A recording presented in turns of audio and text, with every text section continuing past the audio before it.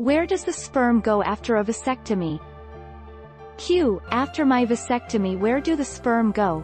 A. The sperm, which are made in the testicles, cannot pass through the vas deferens once they have been cut and tied, so they are reabsorbed by the body.